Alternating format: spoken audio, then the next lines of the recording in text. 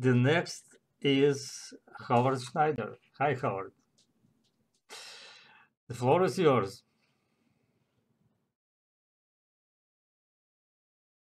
Oh, you we cannot hear you. Sorry.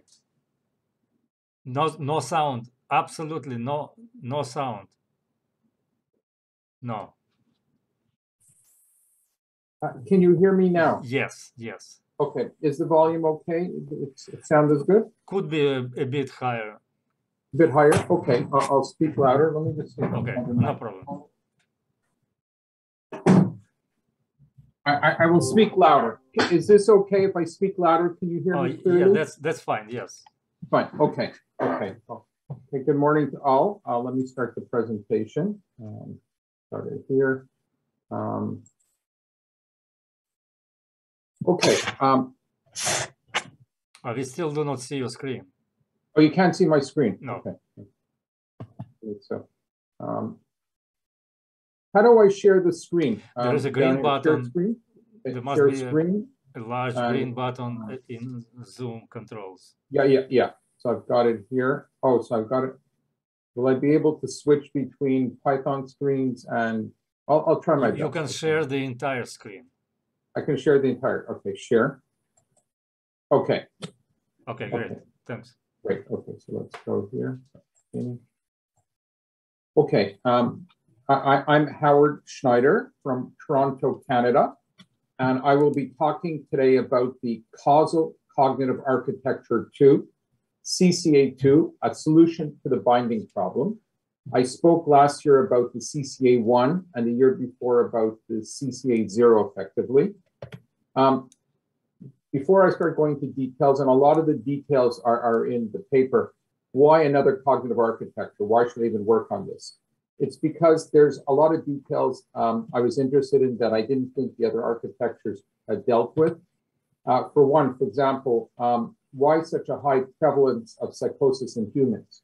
Um, 1% of the population has schizophrenia, which is a large number to start with, but actually 17%, and that's van Os et al. 2001, will have some psychosis or psychosis like reaction during their lifetime, which is a very, very high number. And, and these are bad things. Hallucinations, delusions do not help anyone. Um, and animals, in, contra- in contrast, um, animals get depressed, animals get anxiety, they do not get psychosis, very, very rarely. Also, at the same time, animals do not have full causal behavior, and we discussed this actually a year ago, two years ago, um, at one of my presentations. Um, despite um, there's examples of animals doing tricks, but they barely have pre-causal behavior. They don't have full causal behavior. For example, chimpanzees, chimpanzee here, um, there's a um, um, uh, you give the chimpanzee a stick, um, see if it can pull the food in. It can pull the food into the um, edge. Um, it can do that, but if you put a gravity trap here, where the food will fall down um, in, into the um, in, into the gravity trap, uh, it takes the chimpanzee 100 tries to do it. It's, it's learning by association. It doesn't have full causal behavior. Um, okay, so in terms of making a cognitive architecture, what do I use? Symbolic logic. Um, which is great. It's too bad people aren't doing more work in it. Um, neural networks, 99% of people in AI think that's taken over the field. Um, there's other ways of getting intelligence too. An area I'm very interested in is um, navigation maps um, for different reasons. One, um, for same evolutionary reasons, you go back uh, 500 million years to the Precambrian. Um, invertebrates use have navigation. Um, just about all animals use navigation to some extent. Um, invertebrates, they all have formal navigation systems, very simple, similar to the mammalian hippocampus, going all the way back to lampreys. And the work done um, on navigation systems, you know, the hippocampus in the mammal has just been incredible the last few decades. Uh, Nobel Prize was given in 2015. Um, a, a, lot of the work, um, actually, Dr. Samsonovich's paper, uh, which influenced me a lot, 2005, and I believe Dr. Ascali is also speaking, um, I think, a half hour after me. Um, the fact is that the um, same system used for navigation also seems to be responsible for navigation memories. Um, you know, so I said, okay, if I'm building now uh, causal an architecture, let me just use navigation.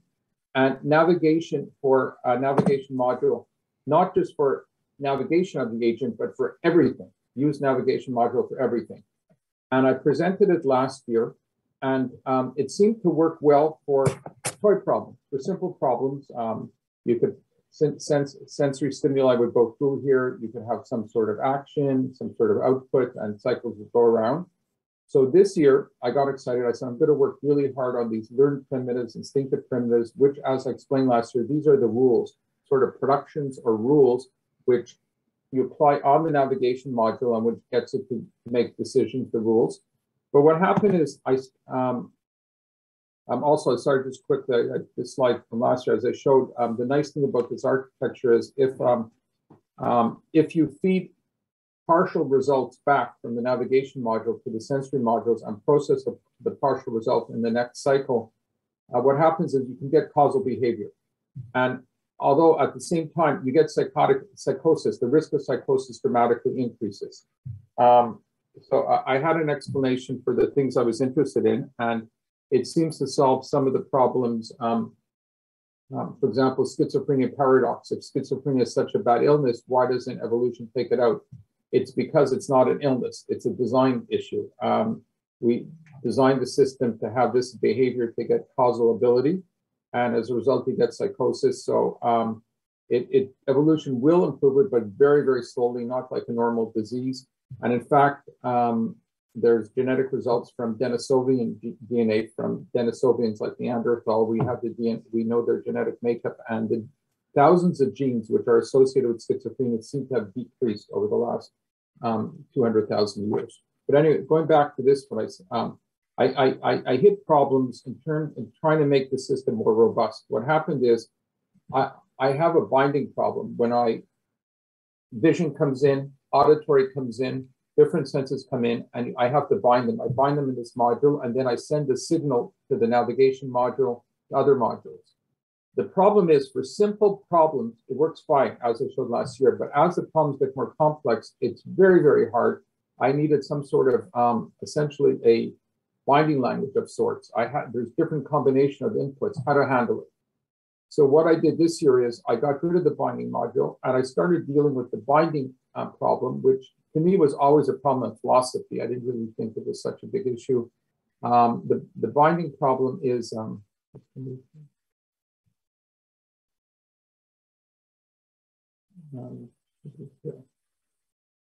Um, Feldman gives a good example. Basically, if we're having different streams of inputs into our brain, vision, auditory, other senses, tactile, how do we put them together? I see a cube that's red um, and round, and uh, I mean, sorry, red with straight edges, and it's associated with the noise. How do I bind in the brain? That was a big question people asked, many people. Also, this, um, which is more philosophical, this subjective unity of perception it's, you know, feeling that you can perceive everything. How do we bind the visual features? And so I started dealing with that this year and um, with a very simple purpose. How do I make a robust, more agent, an agent that can handle problems that are um, not toy problems, more complex problems? And I created this. I have an object segmenting gateway module where I segment the object, basically very simple visual recognition, very simple visual and other sensory recognition, um, similar to what a convolution does in a CNN. Um, and, and, then, then it's matched to the causal memory module. So uh, sensory vectors come in, they're segmented, match it to the best memory map that already, that I, I'm storing every memory navigation map, navigation map that is created, and then operated on it. Uh, for example, if the agent sees a picture of a river for this, these are maps. These maps are already stored. They're already stored. Um, they're already stored in the um, in, in, the causal memory module. It maps. It it tries it tries to match to the best map possible, and then it gets the map, and then it updates it with whatever the local information is of the actual scene it. Here, all the information is in a navigation map. Um, and, and this does wonderful things. You, you, you, um, a lot of the problems here are solved, as I will discuss. Let me give first a demonstration of the, of the system. And one last thing is before um, another problem I hit, um, which goes beyond what the, you know, the, the, textbooks talk about the binding problem is, I also have to bind changes with time, uh, essentially ds dt, the first order derivative. Um, if I don't bind time, to- I had to bind time as a spatial feature, as a, just like a feature of space. Because what happens is I had to take thirty navigation maps per second, just as in a video.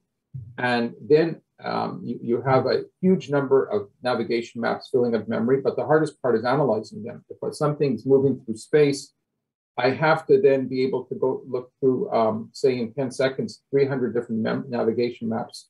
It was much easier to um, find, create a motion predict uh, a- a vector for each motion and then bind that as a, just like I do a spatial feature. Let me, rather than talk, let me give a demonstration of the actual code. Um, I'll first do a walkthrough through the source code. Um, just one second here, I'm screen, I, I don't see my, my face here. Um, Okay, there I am. If you stop your presentation and share your other window or the entire. I did, yeah, yeah, I shared the other window. Okay, so I can see it here. So let me just walk through the, um, thi- this is the architecture which we'll be referring to. And, um, just the code, um. let me just look in the corner here. Um, thi- this is the, um, code. I'll, I'll show the actual code in a second. It's just easier in the PowerPoint. I have six Python modules. I have about ten thousand lines of, um, source code. Um, it, it's, um, and the way Python works is it, why people use it there's so many libraries available. Uh, I use PyTorch for the neural network and a few lines of code a neural network is created. Although in the current version, I'm using uh, Fuzzy Wuzzy, which is a fuzzy logic library, which works fine. I, it's again, I, my main data element is a navigation module, which I believe is the way our brains work. Um, it's, it's a navigation module. Um, I, I, it's not symbolic logic. It's not neural network navigation. Everything's done by navigation.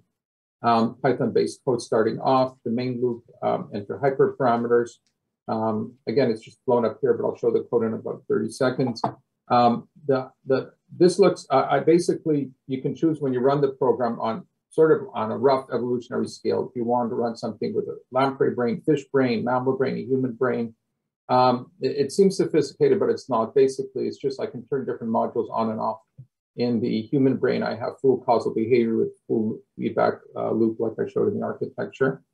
And this is the main signal. This I have two main data elements. Um, um, ext, which is a NumPy array, and p.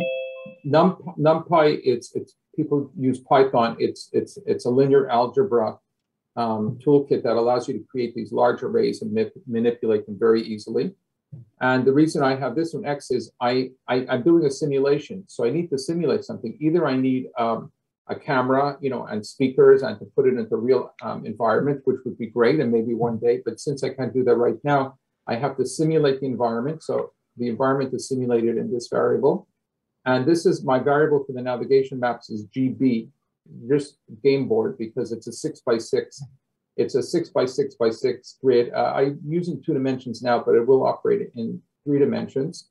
And in fact, most of the research on the hippocampus is done in two dimensions, but um, there's people um, doing work actually three dimensions. For example, with fruit bats, um, they can show that uh, even though two-dimension surface, you actually have three dimensions represented on it when the bat goes through the air. Um, okay, so and also the primitives, the rules, or as a productions like ACT-R system, we call it a production. My primitives are also navigation maps. Everything is a navigation map in my system. And um, okay, so let's go through some of the code here. I'm to try this gently if I can escape. I'm going to just escape from the PowerPoint. Let me, um, this is the actual code, just normal Python code. I show you something manipulated, straight Python code, nothing fancy.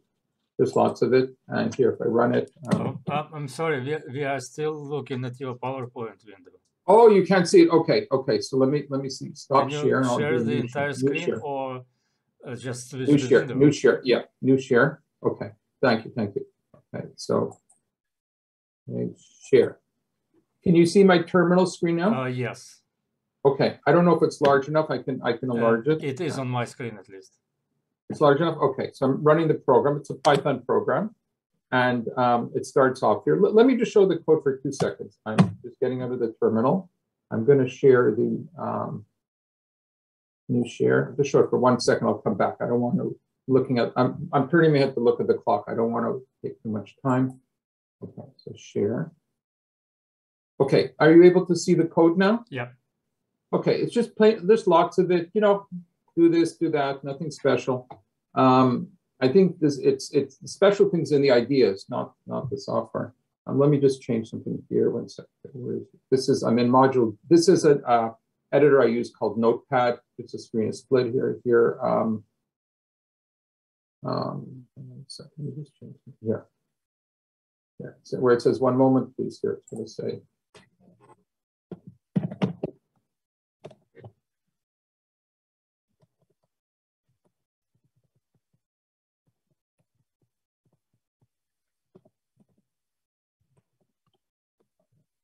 Save it, shared screen to something different now, new share, share to command prompt, share, okay, so here.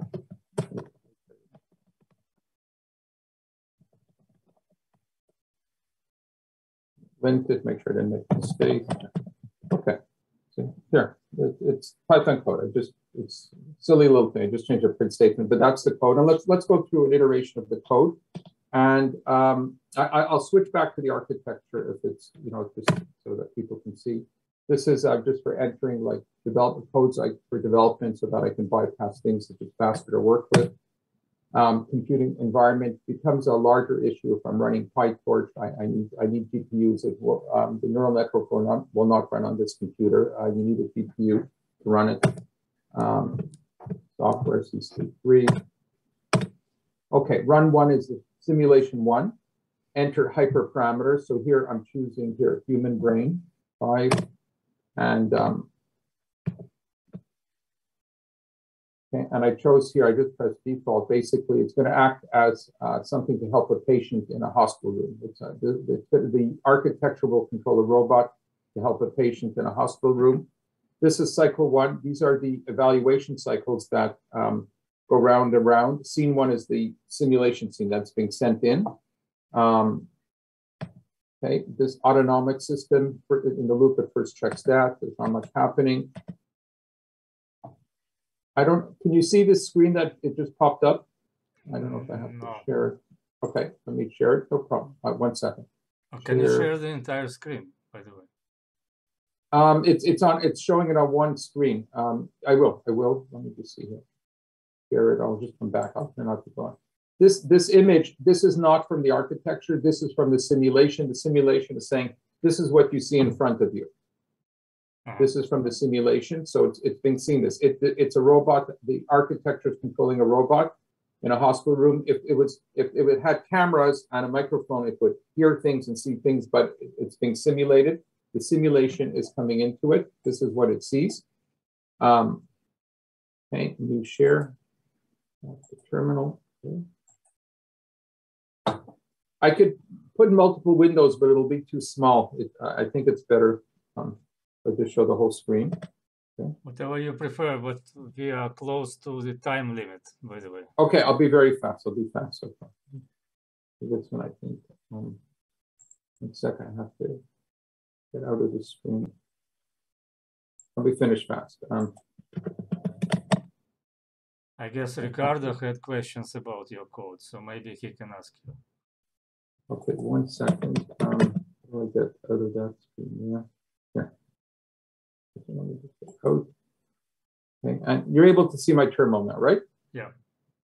Okay, so it went through it fast. These it, it's binding the scenes, binding, and I get to the object segmentation module, and it binds it. It binds it in a navigation map. All the sensory things go into a map like this. This is a map. It's a it's a two-dimensional map. It's three dimensions, but the the z dimension is not being used. Olfactory binding, um, visual binding, occurring here. Then I have to match the best navigation map as I showed you in that diagram where um, I map from the what exists in memory, map it to the best maps that already exist, which are these.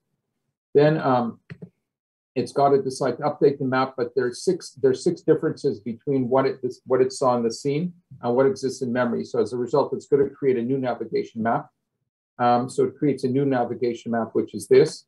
Then the next step is it's going to do operations on the navigation map um, here. and then the next step is it's going to look for a rule, a primitive, and the primitive is a navigation map to which it matches. And it says um, basically a primitive, if a body's falling, push against it, so pushes against it. And it's here, it's it, it applies it to this part here, which is four, four, it should be four, four, zero. And um, here, this is the output module here. So basically the robot arm moves to 440, stop the person from falling.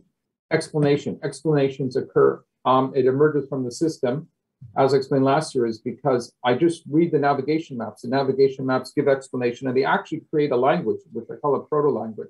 I had no desire to work on language, but it just comes out because if you read the navigation maps, the language comes out. And um, then it starts in the next cycle. I'm going to share screen now. I'm going to finish the presentation in four minutes. I'm done, four or five minutes of that. You share. Okay. Okay, so back to here and confirm slide. So, so this was the live demonstration of the code. This is the architecture. We saw the binding problem very quickly. Feldman, problem one, subproblem of the binding problem, general coordination of objects and activities, which we did. Doesn't matter that the sensory things may go into different streams. Um, we're able to coordinate objects and we're able to do things with them. We applied the primitives against the navigation map um, the subjective unity of perception, which to me always seemed like a philosophy problem, but the answer emerges from here. Once you match your, your, your senses to the best navigation map that you have in memory, um, that best navigation map is your perception. And this is why two agents may have different perceptions, just as two different people may have different perceptions, depending on what the memory maps are. Um, visual feature binding, which of course it does, we showed.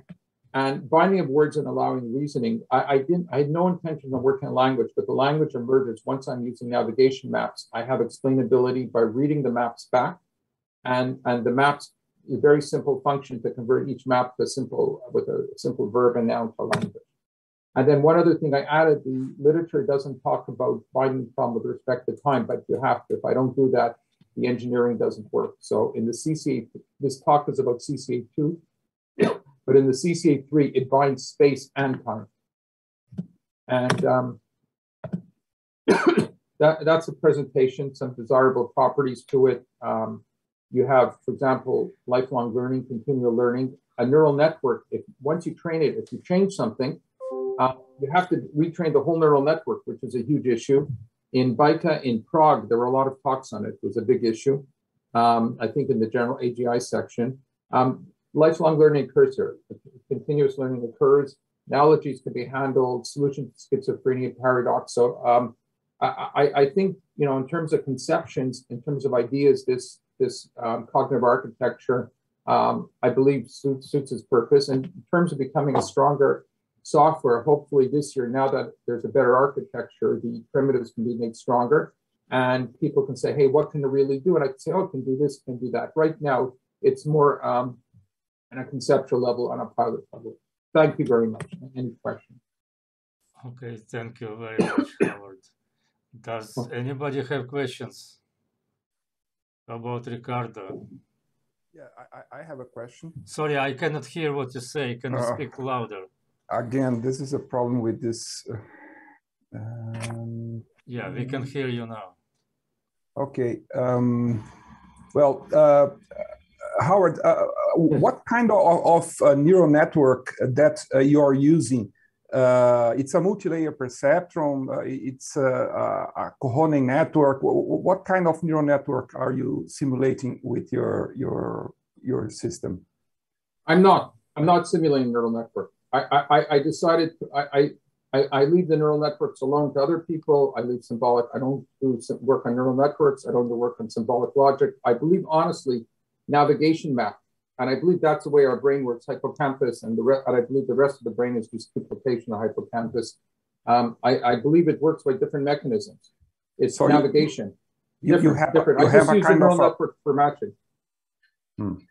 I, I, I, don't, you know, which I believe, you know, the thing is neural networks, whether, you know, now people are realizing too, you know, everybody for visual recognition, people are using CNN convolutional neural networks.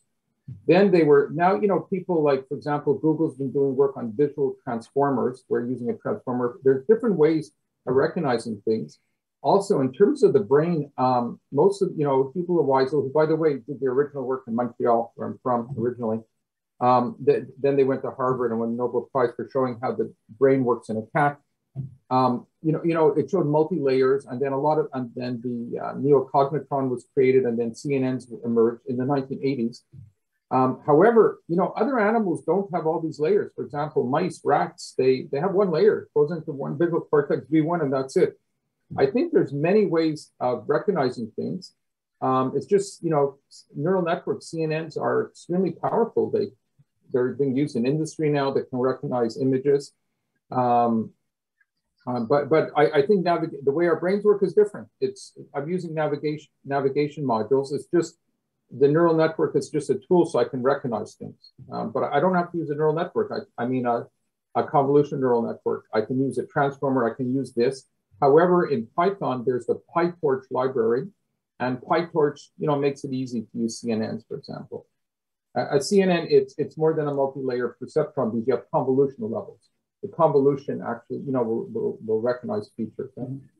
Yeah, but I, I, what, what I'm asking is, uh, what is inside those boxes that you show in your in your diagram? Because you, you show to us a, a box and say, okay, I have an input, I have an output, but what are you doing inside this box? This is uh, basically what I'm trying to to guess to to, to understand. Oh, oh I, I, I, um, I, I can show the code here, and also as well in a paper that I'm just finishing um, updates um, on the CCA3. This, this, presentation was on the CCA2. I sent it in about I think six months ago or eight months ago.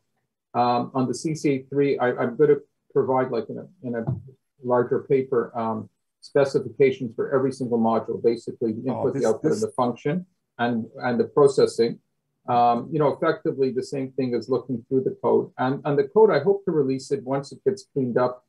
Um, the problem is the code without a walkthrough. I don't know how useful it is. I, I sometimes look at code in GitHub. It's it's hard because, um, you know, it it I, I think it has to be massaged into shape so that you can it shows it's doing this, doing this. Because if you just look at thousands, I can show you the code. I can show you a function right now, for example. Here, do you want me to? I can. I'll share my screen. But one, one, one thing that I, I have a doubt, uh, Howard, is uh, uh, are the the structures inside of each of your boxes of the same type, or are you, you having different algorithms for the different boxes that you have in your diagram?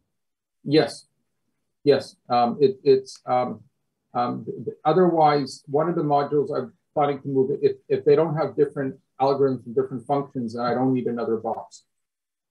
So the, the answer is yes, they do different things. Um, I yeah, but I, I mean, in, inside, what is inside the box? Uh, are they doing, for example, I could guess that you are using a multi-layer perceptron, but you're saying that you're not.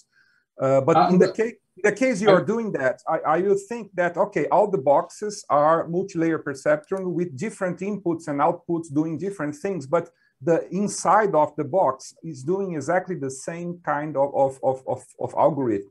But uh, uh, that, that's what I'm, I, I become a little bit confused on, on what you're showing because I, I no, no, I, no, no, they're, they're, they're different. It, that wouldn't work. Um, for example, um, you know, the, the, model, well, you know, you work on navigation, like on robots, like the big, the, the big, you know, thing is people want end-to-end um, neural networks where, you know, just everything goes into neural network and comes out the other side. Um, th that wouldn't work at all for this. It's it's um, here, for example, let me just share the architecture. Oh, by the way, we are close to uh, our oh, okay. schedule okay, again. but it's, so it's, it's, it's, it's, I'll, I'll just give an example. Despite the cancellation of map. two talks, we are right on time.